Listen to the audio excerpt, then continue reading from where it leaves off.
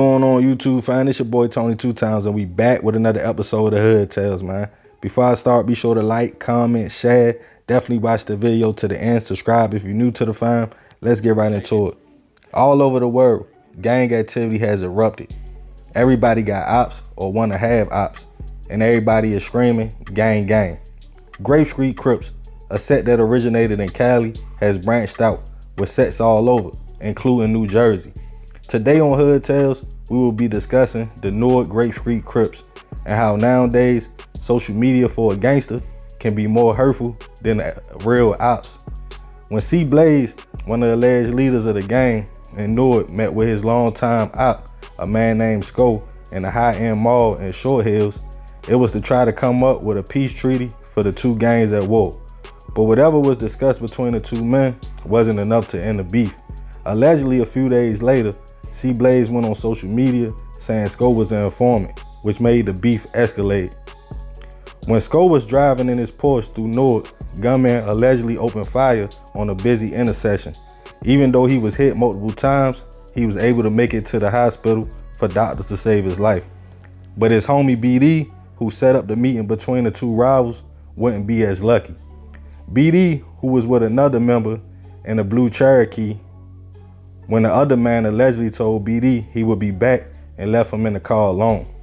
That's when the shooter approached the vehicle, hitting BD in the head, leaving him dead on the scene. In later testimonies, the alleged hit was said to come from C Blaze, but he would say he had nothing to do with that hit. Allegedly, the Newark Grape Street Crips had a multi-million dollar operation with narcotics, shipping smack out of town, blocks in the city, plenty of blickies, and a reputation only a dummy would try. But bodies would start stacking through the city and drug sales going up. The Crips was smart, only using nicknames to make sure they stayed away from the feds, and C Blaze, the alleged leader, didn't even talk on phones, but took pictures with other members.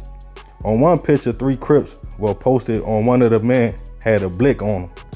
In a later case, police would allege five days later the man used the same blick on an attempted hit of a blood member. The Grapes was said to control a neighborhood close to 280, the interstate. Colonnade Apartments, a high rise in the University Heights district of Newark, the city's housing projects, and more. Using trains to move bricks of smack all through the week out of state, allegedly cleaning the money through restaurants and businesses, including a downtown clothing store. The gang code of silence was real. Even members didn't even know each other's real name. So if somebody got jammed up, they couldn't snitch on the gang. But with all the police activity and all the activity in the city and shootings, the police did get some members to allegedly talk. One alleged member told police he was ordered to kill his longtime friend after C Blaze told him to. With that information and C Blaze rocking with Instagram hard, police went to social media where Blaze had over 12,000 followers and loved the post. 10 Trade Day, a celebration where all the Grape Streets came together.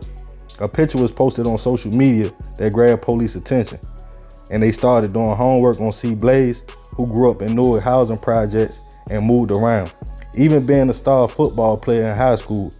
But after dropping out, returned to his old hood where the Grape Street Crips were running the scene. Where he says he got caught up easy with no sense of direction and joined. But even as a hopper or young man, C Blaze had pull in the hood.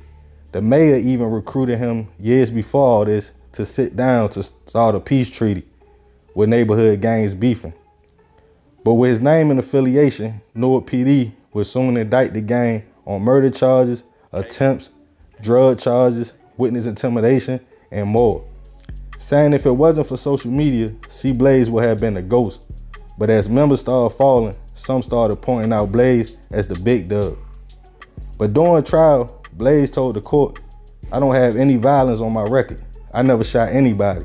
I'm a man of peace. But as other members took the stand and talked about hits, they all said C Blaze sent them. And when questioned why they did it, one man stated, that's just the way it is. You don't question it, or you will probably end up dead as well. During trial, the plot of the hit on Sko and BD came up and two men who met Blaze at the mall, members alleged Blaze wasn't feeling it and felt as though they was trying to set him up and sent the hit. Sko would survive, and he wasn't alone. He was actually with a female passenger. But the hit on BD was carefully planned out.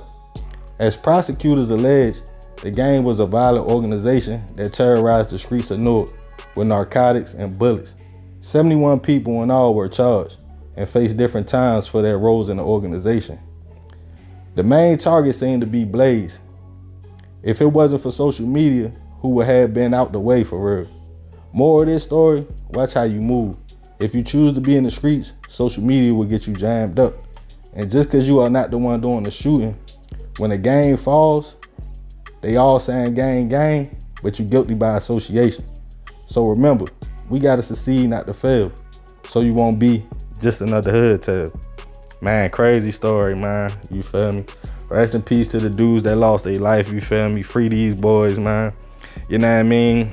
I rock with Newark, you feel me? I've been following they scene up there, so I been knew this was going on. Somebody requested this video though. They wanted me to do a video on it. It's a few years old, this this story, you know what I mean? They got jammed up around about, I wanna say like 2015 or something like that. But yeah, they was definitely getting active in the city. You know, they was deep. I don't know if y'all seen that video after Keef had, you know, allegedly went to Jersey, Chief Keef, and something went down. Then you had all them Grape Streets did a video after he dropped Faneto basically saying, you know, Newark a no-fly zone. That's these boys. So, you know, they had a lot of rep in the city, a lot of action in the city. But, you know, the police was on them. And I don't think it was a lot of them. So don't quote me. I don't think a lot of people turned state. I think it was like one of them out of all of them that turned state. But that's all it takes. You know, and Blaze, you know, he was well calculated. He was smart, but he liked social media. And like I said, social media can be more dangerous than the ops. Because you got to think, your account is linked to your name. If you don't got your real name, it's linked to something. Your phone number, they got a way of tracking it. They can track all your messages. They can track everything. I think people forget that social media is connected to the government. So if you out here really living that life and breaking law, you can't really be using social media like that. You know, you really gotta be a ghost. You can't play them phones like that. But yeah, man, crazy story, man. Shout out to Newark. You feel me? I rock with Jersey, the whole Jersey, Trenton. You know what I mean? hopefully, man, I don't know what's going on with their case, but hopefully these boys can come out on the pill, man. Hopefully they learn from their mistakes, man. But y'all already know this is another episode of Hood Tales. Be sure to like, comment, share. This your boy Tony two times. Love fam. I'm out.